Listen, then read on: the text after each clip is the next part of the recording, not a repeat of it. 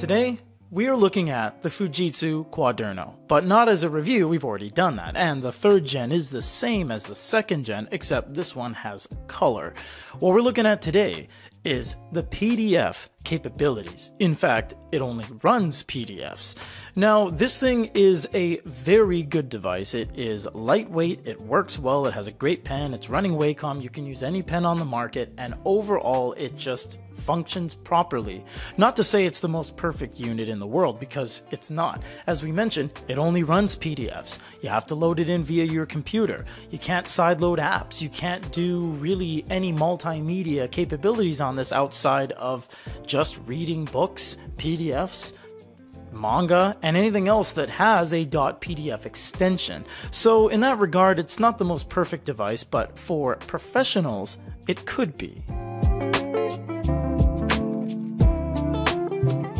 One of the first reasons I really enjoy this device is the really cool NFC unlock, and some people might say, oh, that's useless. Well, sure, but it's pretty cool all the same.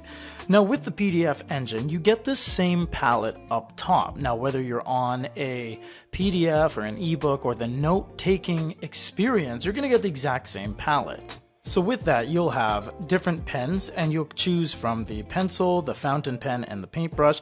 You also have highlighter, you have highlighting text and eraser. With the colors, you also have eight different colors. White's really nice because it basically erases the PDF, which is can come in handy, and then you get all the other quick key colors as well. Now you do have a couple different ways to highlight. For example, if we go to another page here, we can do a freehand hi highlight in which it just highlights wherever we draw, then we can erase the highlight, or we can go over to the text highlight and highlight some text. Now this can also be triggered without having to go over there. For example, if I am on the drawing portion, like that, I can also press the secondary button and make a highlight that way. Yes, you can erase the highlight and erase the notes very, very simply. So if I circle this guy's head and then make some highlights, you might say, well, you know, I've done a lot of work so far. Man, what did I do on that other page? What you would do is you would click this top thing and then go to the annotations list. I love this. Everything you highlight down to the very beginning all the way to the very end gets indexed into the highlighting text. Furthermore, everything you have handwritten, every single circle, every single line will be written here, and they actually outline every single line that you have written. And you can easily go over to it by clicking it, and it shows you exactly where you've done it. Even if you make a little check mark that's it. You would go here and it automatically gets indexed into the handwriting list. It's so cool. There it is right there. I love that. Now, outside of this, you get some line thicknesses, some colors, and some pens. There's no shapes, there's no anything like that. Well, what more can you do? On this side of things, nothing really. That's where it ends. You do have the ability to pinch and zoom, which is nice because after you do, you can go ahead and make these super thin pencil line details, and it is flawless. It is such high resolution as well as you do it. It's so quick and seamless, and then when you zoom out, it just banks it perfectly and you're like wow how'd you write that small? Well you write that small by going into a zoom level that goes beyond the thin level that you're able to choose. And it also does have pressure sensitivity so don't worry about that. Now the three dots is where you're going to be going to a lot. You have page jump. Page jump is just like it says. You have 246 pages in this particular pdf you can jump to said page by just clicking that. If you go back here we have page thumbnails. It just organizes things in a kind of photo type setting and then you can click on something and jump directly over to there. Clicking on this again, you have display documents side by side, which is going to be the same as this, open side note. When you click open side note, it automatically opens the book on one side or the PDF and a notepad on the other. Doing so will allow you full access to the PDF on this side and the note taking on this side. Now, what is amazing about this is that you can choose two different things. For example, I have a red pen here and I have a blue pen here. Not only that, they don't cross over. If I draw my blue line, it's not going to go to that side. If I draw my red line, it's not going to go to that side. Furthermore, Fujitsu does this better than a lot of other manufacturers. You don't have to trigger the side. For example, I can write here, I can immediately write here. Some other manufacturers, you'd have to tell it to go over here by clicking it once, but with the Quaderno, they're both ready all the time. From here, you can go to your list of the documents you have and choose anything else, and that will allow you to have something on this side and something on that side. It truly does split the entire unit into two halves. Going down the list, you have two page spread. I love this one because now it looks like a book. Like you have the bind in the middle, and it truly does flip like that. It doesn't just put that on the next page, it goes to the next two pages.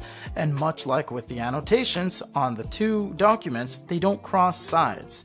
They will never cross sides, and I think that is a really good system in place. If at any point you want to go back, you just say display single page and away you go. After we do this, we have a few more things on the top drop down, so we are going to look at page flow. The reason this is here is because a lot of Japanese content, magazines, manga, etc., go the other way. Yes, this is in English, yes, it works anywhere in the world, but there is still some domestic content that goes the opposing way, so instead of right to left, it goes left to right. That's the only reason that's there. You have delete all annotations on this page, subscribe to favorite, aka favorite it, change the document name, copy document. So, for example, before you get going, before you do any markups, you can actually copy it to the device root storage and it's just going to say bracket parentheses 1. So that gives you the ability to not mess up what you put in or give you another working document that you can just delete all the annotations if you're sharing docs. Also, you can set this to the sleep screen delete it, or export it.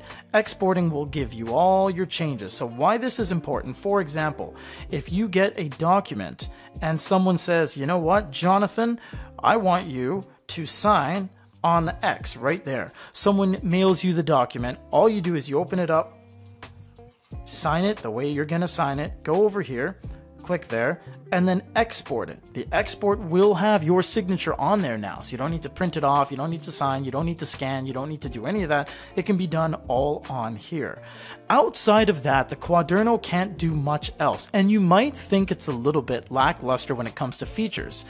And you're right. Compared to the crazy amount of competition we have from iReader and its shaping, and Onyx and the crazy amount of graphing capabilities, and Bigme with its AI solutions, you might think this falls short, but for what it does, it doesn't. This is truly a tried and tested technology that has been around for around a decade now since the DPT S1 and furthermore the RP1. So this is what they're going with. This is the largest player on a level of consumer electronics, Fujitsu, they make everything from TVs and PCs and laptops, and they make escalators, Fujitsu. They make a lot of stuff. These guys are a huge company. And with the shell and overall delivery of the product, they have Sony Semiconductors Japan behind them. They have E Ink. They have Linfiny, part of the E Ink consortium. There's a lot of brands that kind of went into making this whole thing. And it really does promote itself and execute a perfect productivity solution. It's not trying to be any more than it is. I understand there's no APKs. I understand there's no Google Play. This is our industry. We get it. But this is just something you don't see anymore. Back to basics, easy, everything works, nothing crashes, nothing is third party, nothing is outside. It just works all the time. And the fact that it only has PDFs can be a little bit of a nail in the coffin, but you can get everything from ebooks, you can get everything from your manga, your colors, your your editorials, your journals, basically anything. And there's not really any drawbacks other than the fact that it doesn't have a glow light. That's really my main gripe. But then it probably wouldn't look this good and wouldn't be this close to the surface. Either way, this is everything you can do editing PDFs on a Quaderno.